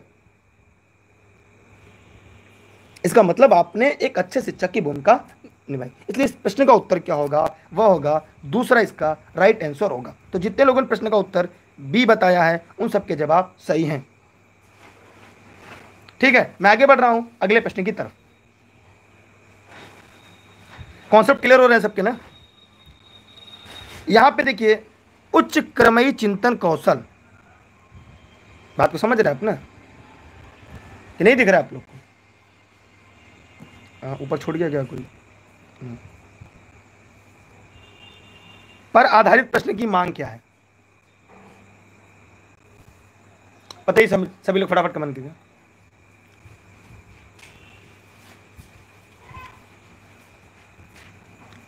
सभी लोग फटाफट कमेंट कर, वैसे मैं इसकी व्याख्या ज़रूर करूँगा। सभी लोग बताएँ सब लोग। आप लोग सपोर्ट नहीं करते क्लास में। कितना भी कह दिया जाए कि आप लाइक कर दीजिए वीडियो को शेयर कर दीजिए, लेकिन आप लोग सपोर्ट नहीं करते चलिए यहाँ पे ध्यान से देखिएगा। यहाँ पे देखिए मैं आपको व्याख्या डायरेक्ट कर दे रहा हूँ। देखिए, कुछ सीमा तक जो संज्ञानात्मक ज्ञान होता है, क्या होता है? जो संज्ञानात्मक ज्ञान प्राप्त करने के लिए हमें संज्ञानात्मक प्रयास की ज़रूरत होती है। हमें केवल सीटेट के लिए सिलेक्शन देखिए, मैं इसकी व्याख्या कैसे कर रहा हूँ? हमें सीटेट को में क्वालिफाई होने के लिए मैं केवल पढ़ना नहीं होगा। हमें सीटेट की तरह पढ़ना होगा। किसकी तरह? सीटेट की तरह पढ़ना होगा। हमें केवल पढ़ना नहीं होगा कि भैया मैं दस घंटे पढ़ता था, मैं आठ घंटे पढ़ता था, मेरा सीटेट नहीं हुआ। क्योंकि सीटेट एक सोच है। अगर वह सोच आपके अंदर बैठ जाएगी तो आप क्वालिफाई हो जाएँगे। मैं आपको बताया ना मैं खुद ही तीन बार क्वालिफाई हूँ। मैंने तीन बार दिया, तीनों बार क्वालिफाई हूँ। कि सीटेट क्या है? एक सोच है। ठीक? अब आगे देखते हैं। उसके बाद उच्च क्रमेय जो ज्ञान होता है, उसको पाने के लिए हमें गहन चिंतन करना पड़ता है। उसके लिए क्या करना होता है? गहन चिंतन की ज़रूरत पड़ती है। किसकी? गहन चिंतन की ज़रूरत पड़ती है। उच्च कौशलों की ज़रूरत पड़ती है। हमें ज्ञान को विकसित करने के लिए उच्च क्रमीय चिंतन, कौशल पर आधारित प्रश्न की मांग करनी चाहिए। अब एल्गोरिथम का ज्ञान मैंने आपको बताया है कि एनसीएफ 2005 को मैंने जब पढ़ाया था तो मैंने एक बात आपको बताई थी। एल्गोरिथम नहीं होगा, सूत्र ज्ञान नहीं होगा। अब यहाँ पे दो बातें ए और बी में कोई एक चयन करना था आपको, तब यहाँ पर इसका उत्तर क्या होगा? कुछ सीमा तक संज्ञानात्मक प्रयास और ज्ञान इसके लिए राइट आंसर होगा। मतलब जितने लोगों ने इस प्रश्न का उत्तर बी बताया है, उन सभी के जवाब पूरी तरह से सही हैं। किसी को मन में डाउट हो, किसी के मन में कोई समस्या हो तो आप लोग फटाफट कमेंट करेंगे और कमेंट करने के बाद आप जवाब ज़रूर देंगे। ठीक? मैं आगे बढ़ रहा हूँ अगले प्रश्न की तरफ़।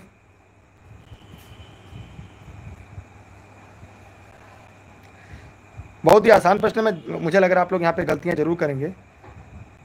प्रदीप को एक लड़का है एक टूटा हुआ रूलर, जिस पे दो, तीन, चार, पाँच छः दिखाया गया है। और पूछा जाता है कि रूलर में छह सिमी कहाँ है। ठीक है? वह उठाता है और रूलर पर पाँच सिमी के निशान को चिन्हित करता है। उसका उत्तर क्या है? चार विकल्प दिया गया है। आप सभी लोग, जितने लोग लाइव हैं, चाहे आपकी संख्या जितनी भी हो, सब लोग कमेंट करके जवाब ज़रूर दीजिए। मैं चाहता हूँ कमेंट में आप लोग बॉक्स को भूल कर दें अपने जवाब से।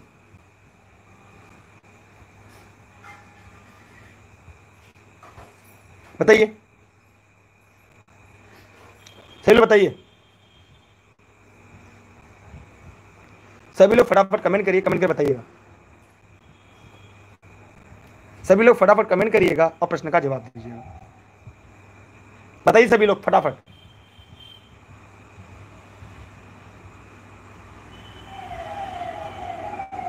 बताइए। सभी लोग जवाब दे दिए। वाह भाई मानना पड़ेगा। आप लोग सही बात है सपोर्ट नहीं कर सकते। चलिए, वो आपके ऊपर है, क्योंकि मेरे कहने तक का अधिकार है, बाकी जब परिणाम लेकर बाहर आएँगे तो फिर आप लोग अभिव्यक्त की स्वतंत्रता आप लोग के पास नहीं है। चलिए, यहाँ पे देखिए। गलत है, क्योंकि यह केवल निशान को देख रहा है, न कि ज़ीरो और पाँच के रूप में चिन्हित दो बिंदुओं के बीच की दूरी को। अब वो बच्चे को कह रहा जा रहा है कि भैया, आप दो, तीन, चार, पाँच दिखाया गया और पूछा जाता है कि रूलर पर छह सेमी कहाँ है? क्या पूछा जा रहा है कि छह सेमी कहाँ है? तो फिर क्या हो रहा है? फिर देखिए, सही है, क्योंकि उसने रूलर पर पाँच सेमी निशान को सही चिन्हित किया है। उससे पूछा गया है कि छह सेमी कहाँ है? उसने यहाँ पे किया तो सीधी सी बात है, गलत है। मुझे छह सेमी कहाँ है? और यहाँ पर टिक कर देता है। ठीक? यह बता रहा है कि उसकी संकल्पना त्रुटिपूर्ण है कि वो पाँच सेमी की एक बिंदु के रूप में है, न कि लंबाई के रूप में।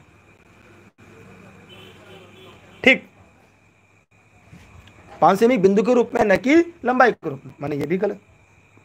अब यहाँ पर ध्यान से देखिएगा, इस प्रश्न का जो उपयुक्त विकल्प होगा, गलत है। सही बात है, गलत है? क्योंकि रूलर टूटा हुआ है यह कहीं पे नहीं दिया गया है। यह गलत है, क्योंकि यहाँ पे रूलर क्या है? टूटा कि रूलर ऐसे होना चाहिए क्या है? रूलर यहाँ पर टूटा हुआ है। और उसे दो से शुरू करना है, उसे शुरू कहाँ करना है, दो से शुरू करना है।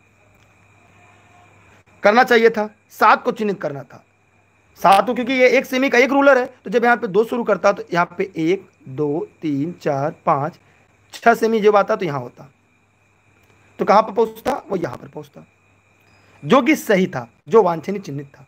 इसका मतलब इस प्रश्न का जो उत्तर होगा, वह इसका, ए इसका सही जवाब होगा।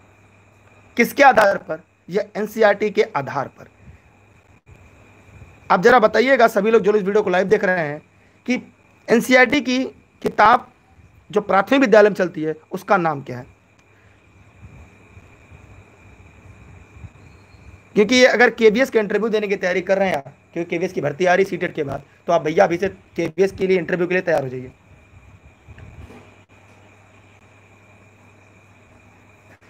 सभी लोग फटाफट कमेंट करें, जो लोग वीडियो को लाइव देख रहे हैं। सभी लोग फटाफट कमेंट करेंगे और दिए गए प्रश्न का जवाब देंगे।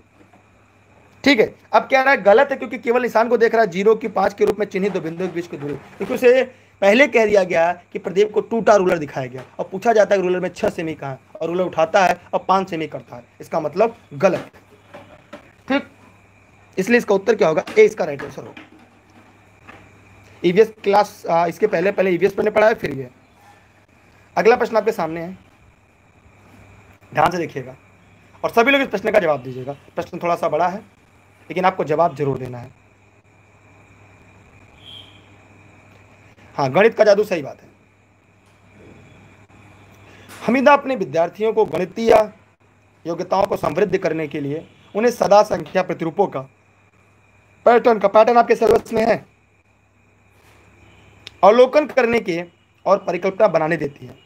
वह बोर्ड पर निम्नलिखित समस्याएँ लिखती है और विद्यार्थियों से कहती है, वह इनका उत्तर लिखें। तो जितने लोग वीडियो को लाइव हैं तो सभी लोग फटाफट कमेंट करें। कुछ लोग गणित से बीएससी होंगे। कुछ लोग पी सी एम इंटर पढ़े होंगे, कुछ लोग एमएससी होंगे तो सभी लोग इस प्रश्न का जवाब दें। इस प्रश्न का उत्तर क्या होगा? कि इस प्रश्नों के सेट के माध्यम से वह यह चाहती है कि विद्यार्थी अवलोकन कर सके। क्या अवलोकन कर सके? वो क्या चाहती है? हमीदा यहाँ पर क्या चाहती है?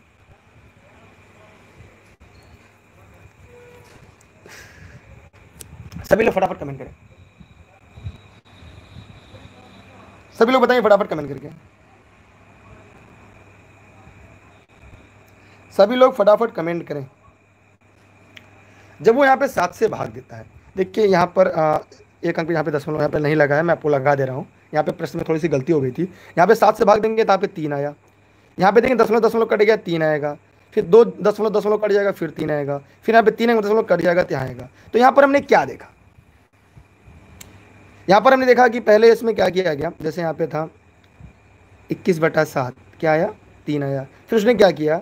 कि इसमें इक्कीस बट्टा दस डिवाइडेड बाई सात बट्टा दस किया, फिर क्या आएगा तीन आया। फिर उसने क्या किया? इक्कीस बटा सौ डिवाइडेड बाई सात बट्टा सौ किया। फिर उसने क्या किया? इक्कीस बटा एक हज़ार डिवाइडेड बाई सात बटा एक हज़ार। इससे क्या हुआ? जब पलटने के बाद इसका उत्तर हर पहलू पर तीन आया। तो यहाँ पे क्या होगा? आइए। जब एक भाजक को दस की घटत होती है तो दूसरे भाजक को दस की बढ़त होती है। जी नहीं, यहाँ पर हमने क्या देखा? यहाँ पर हमने देखा, यहाँ पर क्या था? दस की घात एक, दस की घात एक। यहाँ पर क्या था? दस की घात एक, दो। तो यहाँ पर भी दस की घात दो। उत्तर समान आ रहा है। यहाँ पे क्या? दस की घात तीन, यहाँ पे दस की घात तीन। माने ये गलत हो गया। जब एक गुणज दस को विभाजित किया जाता है और दूसरे को दस से गुणा किया जाता है तो गुणफल जी नहीं। अब जैसे यहाँ पर है ए को दस से गुणा किया जाए और बी को दस से भाग किया जाए, क्या समान उत्तर आएगा? नहीं आएगा। क्लियर फिर मैं आगे देखता हूँ। यदि भाजक और भाज्य दोनों दस की घाट से घटाए जाते हैं तो भागफल भी दस की घाट से घट जाता है। भैया, भागफल घटा नहीं है, भागफल सेम है। इसका मतलब ये भी गलत है। भागफल कहीं अलग हुआ, भागफल सेम आ रहा है।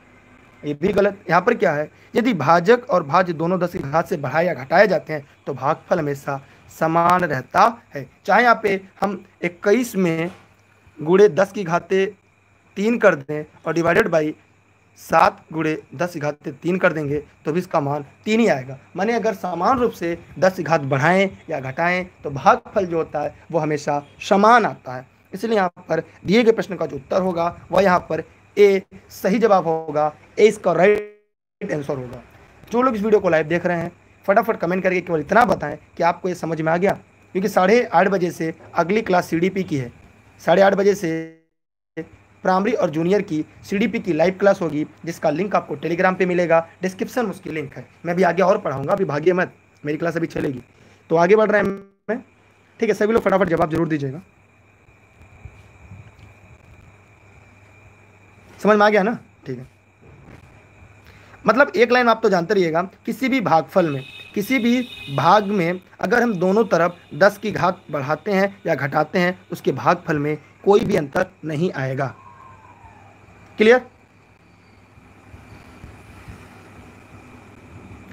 अगला प्रश्न आपके सामने साथ आपको डिस्प्ले पे दिख रहा होगा। तो जरा फटाफट कमेंट करिएगा और कमेंट करके जवाब दीजिए।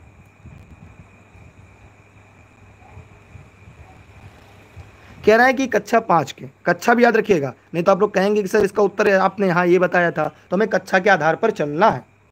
कक्षा पाँच के विद्यार्थियों की समस्या है, एक बट्टे दो और एक बट्टे तीन को सही तरीके से हल कर सकते थे, लेकिन वे इस समस्या का हल नहीं निकाल सकते थे कि आधे केक में एक बट्टे तीन केक के टुकड़े हैं। आधे केक में कितने एक बट्टे तीन केक के टुकड़े हैं, इसका कारण क्या है? बताइए।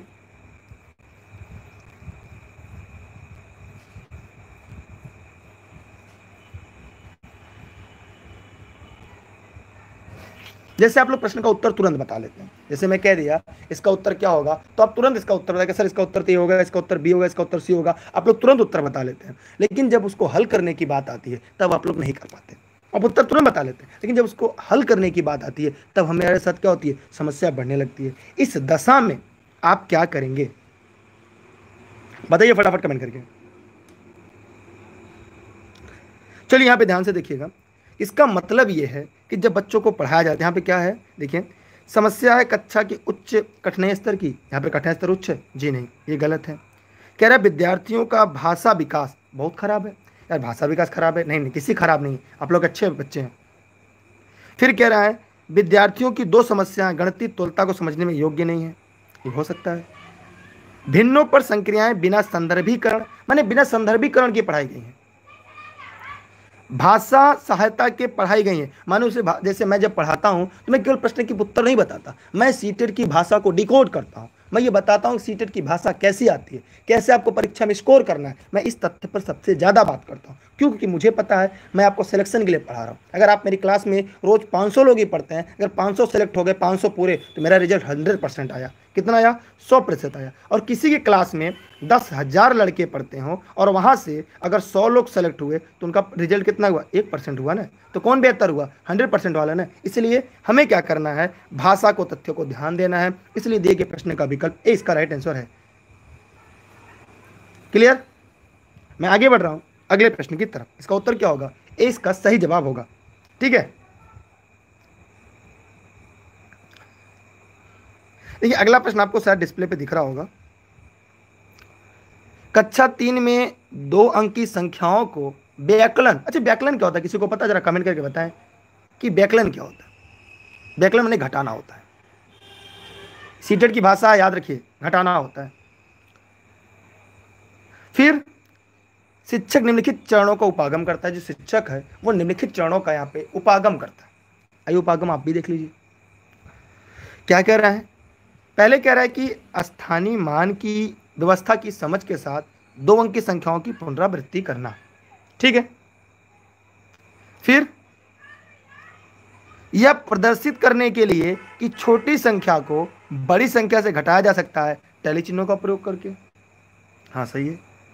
स्थानीय मान के प्रत्येक कालम के अंतर्गत संख्याओं के व्यकलन का अनुप्रयोग करके।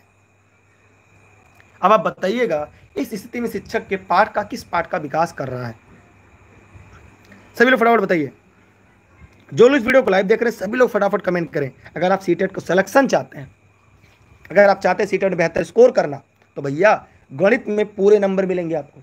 शिक्षण तो एक भी गलत नहीं होने दूँगा, इस बात की गारंटी है। अगर इससे बेहतर कोई शिक्षा पढ़ा दे तो चैनल को सब्सक्राइब करके चले जाइएगा, क्योंकि कैरियर आपके लिए सबसे बड़ी है।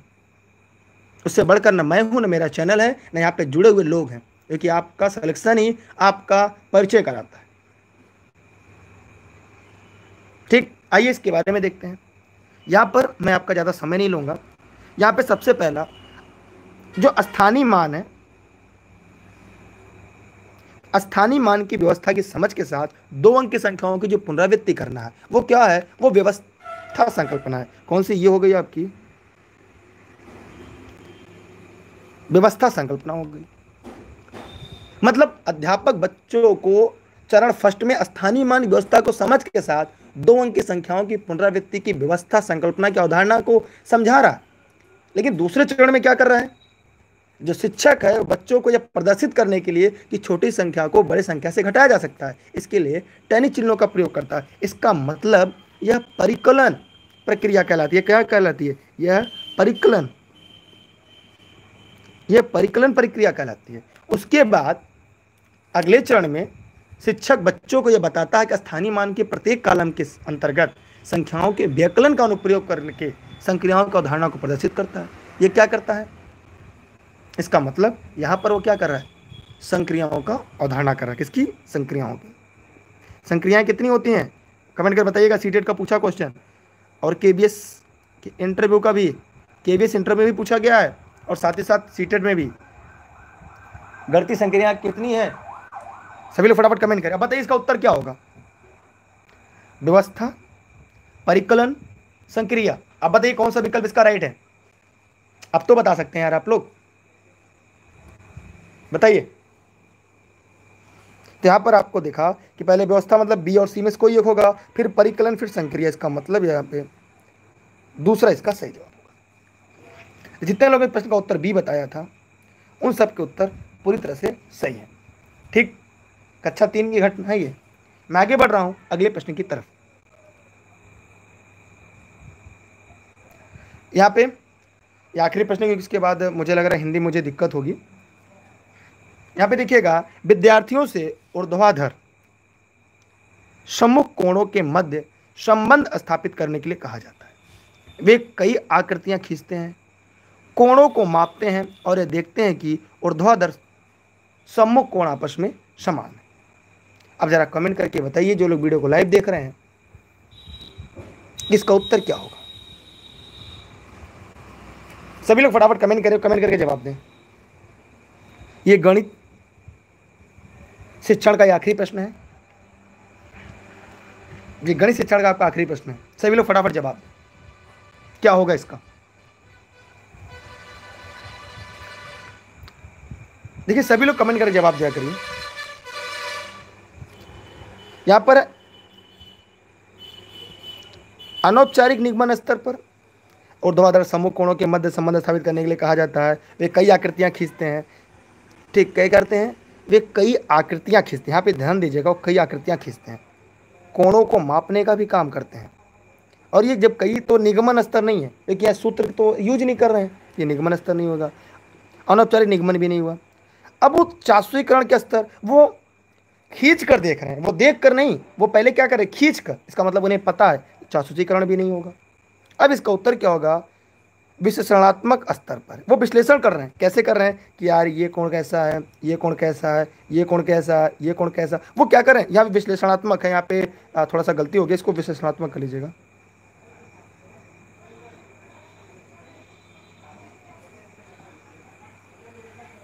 ठीक, यहाँ पर क्या होगा? उसने उन्होंने क्या किया? विश्लेषण किया। विश्लेषणात्मक स्तर का अवलोकन करते हैं। कई आकृतियाँ खींचते हैं? कोणों का मैप ज्ञात करने के लिए। या फिर ऊर्ध्वाधर समूह समान होते हैं? विद्यार्थी द्वारा यह अवधारणा ज्ञात करना बिना विश्लेषण स्तर के संभव नहीं है। इसलिए यहाँ पर जो प्रश्न का उत्तर है वो डी इसका सही जवाब होगा। क्लियर मैं आगे बढ़ रहा हूँ, क्योंकि यहाँ पे शिक्षण खत्म हो चुका है, गणित शिक्षण का। मैं आगे हिंदी शिक्षण शुरू करने जा रहा हूँ। तो कितने ऐसे साथी हैं जो हिंदी शिक्षण के लिए तैयार हैं और ये चाहते हैं कि हिंदी शिक्षण के लिए हम उनकी पूरी मदद करें, हम उन्हें समझाने का प्रयास करें। या हम उन्हें पढ़ाएँ या तथ्य को स्पष्ट करने का पूर्ण प्रयास करें। अगर हैं आप लोग तो कमेंट कर बताइए। वरना इसके आधार, क्योंकि इसके बाद अगली क्लास चल जाएगी तो मैं पढ़ा नहीं पाऊँगा। ठीक है?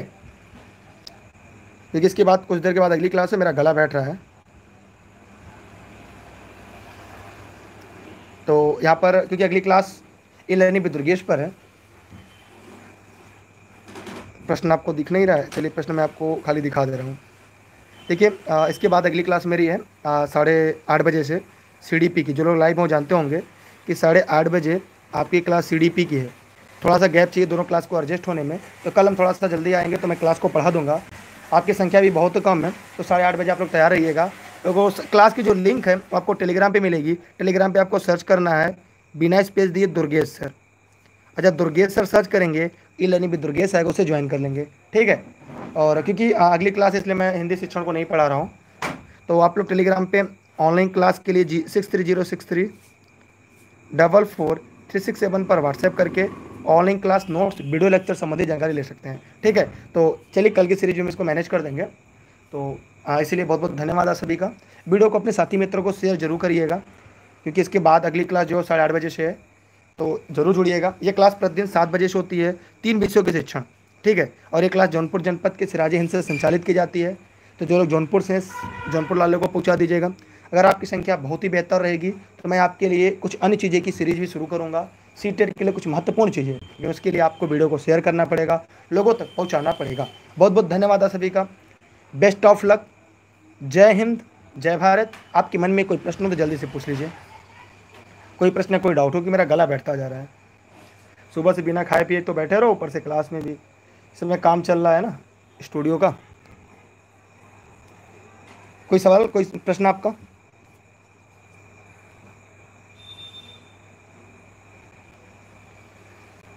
मन में कोई सवाल नहीं आपके? हो तो बताइए।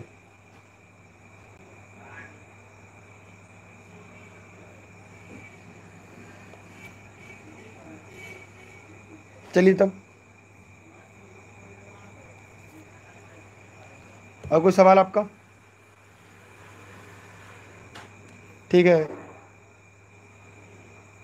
चलिए बेस्ट ऑफ़ लक जय हिंद, जय भारत। चलते हैं तब। वीडियो को शेयर कर दीजिएगा। जय हिंद, जय भारत बंदे मातरम।